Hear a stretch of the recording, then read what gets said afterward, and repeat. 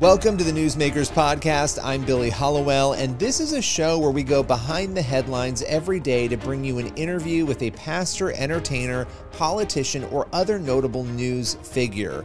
And this is a show, again, it's daily, but it's based on our weekly TV show, which is also called Newsmakers. You can watch it on the CBN News channel and also on our YouTube page.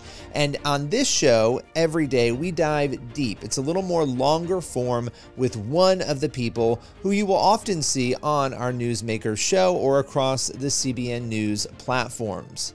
On today's Newsmakers, a journalist is on a mission to expose what he believes to be deceptive elements surrounding the gender ideology movement. Brandon Showalter, a reporter with the Christian Post, has recently released season three of his hit podcast, Generation Indoctrination. It's all about this issue of transgender ideology and what is happening throughout America. He believes the country is experiencing a potential turning point, and he's here to talk with us about what is happening legislatively, among families, and with those who have decided to detransition. Lots to unpack here on the show today. With no further ado, let's welcome Brandon Showalter. Brandon Showalter, so appreciate you coming on today. We have a lot to talk about. You have a new season of your podcast, Generation Indoctrination, and we will get into that. But I want to start with this issue of gender and what is happening in culture right now. So many issues the public have moved more into a secular arena on. And yet on gender, it's really a situation where the public, when you look at the polls, they're not supportive of transitioning children. The public does not want to see a lot of these things being taught in schools. Why do you think this one issue is so unique in that the public is not really moving alongside with the more progressive side of things? What I believe, Billy, is that I think that this issue does tap into something very primal. And I would I would just say that the other aspect of that is that it when you see children being hurt, that really gets people's attention. And we live in an age when doctors will go to work tomorrow and cut the breasts off of 13 year old girls. I'm not making that up. We're watching children become sterilized. And when you're not able to procreate and have a family, that's a very primal and human thing. And so I think even people who are very secular, they're not religious people, it taps into something deeply human. And when people realize what's at stake, that children are being harmed in this way and that they are having their options, you know, foreclosed because of an experimental uh, medical treatment protocol uh, that has no basis in science and there's no long-term studies to confirm that gender confusion in children uh, should be treated with you know blockers hormones and surgery i think just the extreme nature of it and the fact that it erases people's options it, it taps into something primal and very human. And even secular people um, don't want to see that happen. Uh, possi- possibly another a- option um, another dimension rather to this is that even in this country where we do have you know christian judeo-christian norms and ethics that has shaped the public mind in a way where even if people don't personally believe in god that still does affect their thinking and so perhaps some of the residual effects of that are still causing people to think that this gender transitioning uh, i don't even like that phrase but that this is just a bridge too far. Um, and i think that's uh, that's a moment of grace Yeah. Well, you have, I mean, you have a couple of factors here too, right? You have the gender issue more broadly, um, and people will debate that what's being taught in schools, what's being talked about. But then you have children. And as you were mentioning, children who go through surgeries that are irreversible. And we've heard, and I know you have more than anybody heard some horrific stories of what has happened to people, especially those who detransition, right. you know, and recognize that this was not something that they should have gone through, but they've already gone through these surgeries and made life altering, you know, decisions about their bodies. When you're talking about kids, it seems to break through in a different way and this is becoming a major problem i think obviously for for even politically for different sides who take different positions on this but i want to i want to move into the the podcast generation indoctrination you decided to do a new season a third season of this show and this is a show just so people know as you're listening to it, you're so drawn into the stories and at the same time horrified by what you're hearing because it, it's heartbreaking. But what made you want to do another another season of this show? There were several reasons that we felt like we had to do another season of our documentary style podcast series, Generation Indoctrination. Uh, and one of the main ones was that uh, I think the tide really did turn in some significant ways in 2023. Mostly, we saw 17 states move against this. Uh, I think the most egregious harm, like you were just saying, is to children who are being put on these experimental drugs and undergoing these irreversible surgeries. And so to see that kind of uh, large scale push that is now shaping national discourse, that was just worthy of further journalistic, you know, analysis. And so we felt as though we owed it to our listeners to to show the progress of what has been happening. Whatever you think of the red state, it's, and this is happening in red states. Let's be honest. Whatever you think of the legislation, it's an important development because these states have now forced the issue.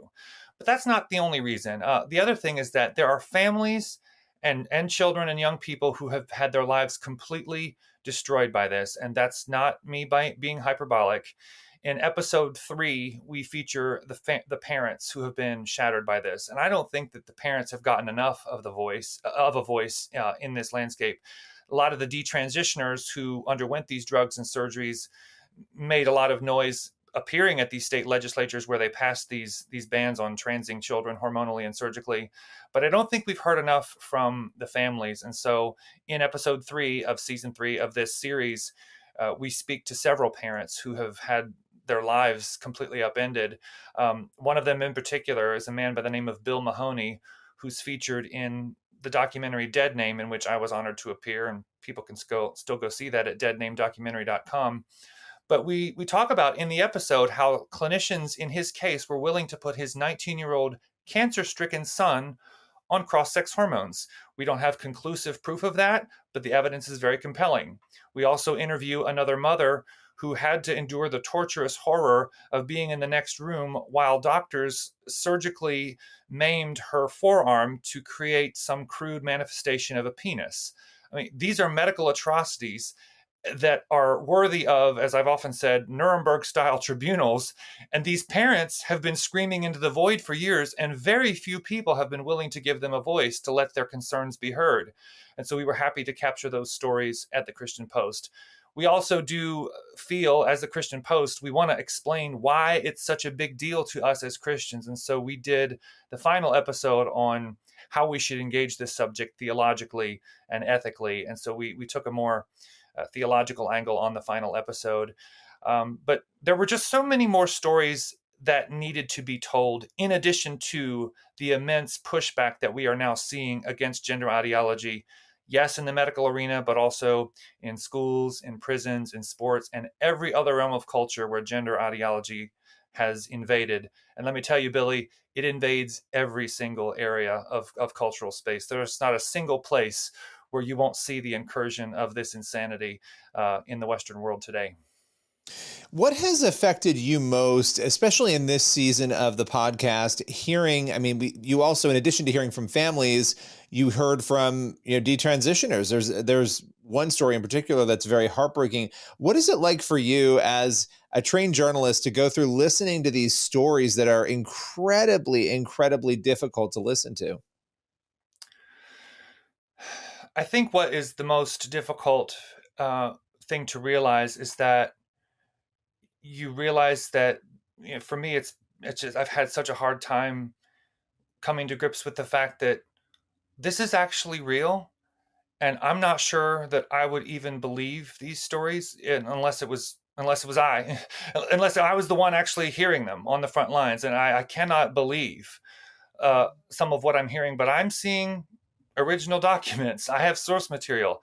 I've seen photos that I've had to get counseling for of these medical atrocities, these these brutalized bodies, and it's hard not to just want to scream sometimes because what you're seeing is so unbelievably horrible.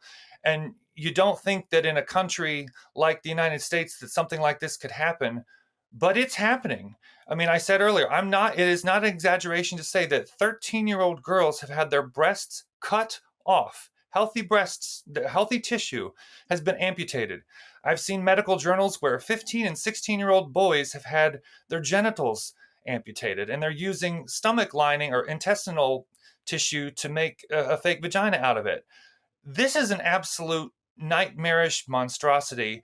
And when you're on the front lines of seeing that and having the responsibility to document that both in print and on our podcast, it's just a harrowing thing and there's no easy way to express it. I, I, I tell the story often where I've had the frustration of going home to the countryside of Virginia where I'm from and I start to talk about some of what I'm reporting on and they look at me as though I have five or six heads.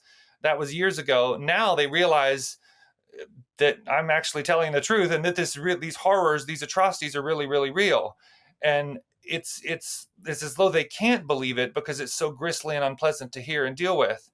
But the hard thing is seeing the ch- the hardest thing is by far is hearing about the children and the young people being hurt, and perhaps even more than that, hearing the palpable, excruciating anguish of the parents and the families who feel as though their lives have been destroyed and shattered. Um, and that's not and again i'm i'm not being hyperbolic here. This has ruined everything that it touches. It's one of the worst medical scandals in human history i think especially and it's especially bad because this has been marketed to our youth in terms of identity. I don't think we've ever seen a scourge like this be presented to young people as though their identity hangs upon ex- undergoing experimental drugs and having their healthy body parts cut off. They actually believe, they've been ideologically indoctrinated to believe that unless they undergo these brutal medical practices that they're somehow not living their truest most authentic selves. I mean the ideological brainwashing that has happened concurrently with this with these brutalities is just astonishing in its degree and scope. And that's just a hard thing to have to be sober minded and document uh, journalistically but we have to. yeah, well, and that's and that's the thing. And, and, you know, my final my final question for you on this, you know, obviously the shock and the horror of all of it is part of of this season of the show, and yet at the same time you have this hope, and you do such a great job of balancing these elements in the show, and the and the hope you would deal with this really in episode one is that maybe the tides are turning. Maybe there is a shift. We talked about this at the start of the interview that people aren't necessarily coming alongside um, th- this issue. What would you say, just as we round out to a close here, that you think is going to happen next, which I know is tough to predict on this issue in this country? The only hope that I have, Billy, is in Jesus Christ the Lord. At the end of the day, that's where it lands for me. I very much believe that somehow God, in His infinite goodness, is going to bring deliverance there are parents across this nation crying out for mercy. They are crying out for justice. And I believe very deeply that God hears from heavens. He hears from heaven. And the Lord has heard their cries. He's collected all of their tears.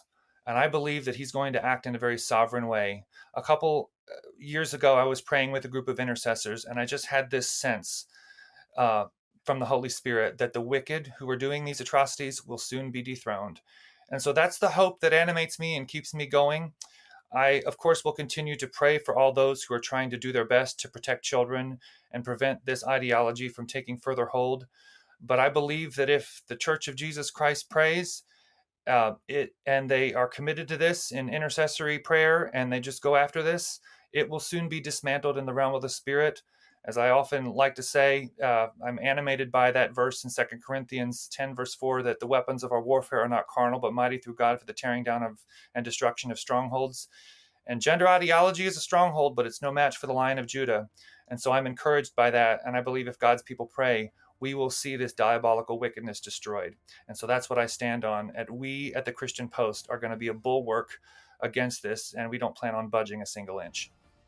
Well, Brandon Showalter, I appreciate you taking us through all of it. The the show is Generation Indoctrination. You can listen to it right now over at the Christian Post. Appreciate your time. Thank you, Billy. That's all for today's Newsmakers podcast. Be sure to tune in for the next episode of the show and also head over to the CBN News YouTube channel and the CBN News channel to watch Newsmakers every week. We'll see you soon.